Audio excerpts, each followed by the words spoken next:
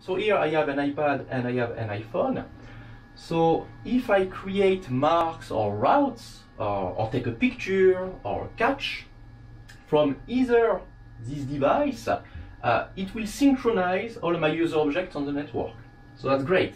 So here, for example, just to show you what I can do, uh, I'm going to create a route on my phone, just to show you how it is and how you do that. You just tap anywhere on the screen.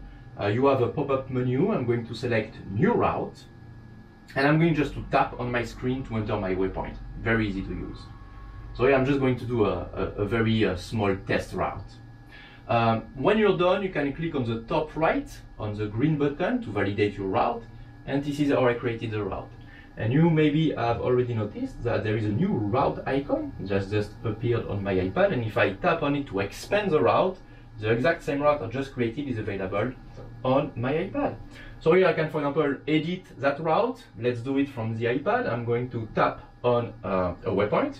I'm going to select move, and I'm just going to drag that waypoint a little bit here, okay? And I'm going to tap to validate, and automatically the same route was updated on my phone.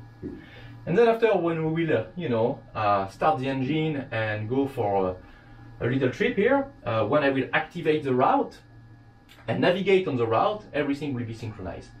Which is great because here I have my iPad mounted on my dash here, and this is my primary navigation tool. And uh, you know, I can have my phone in my pocket, and if I am on the back fishing or doing whatever, you know, I can just take my phone and look at, you know, either my XTE or time to uh, go, time to arrival, or even make some tweak from the back deck, come back here and everything has been synchronized.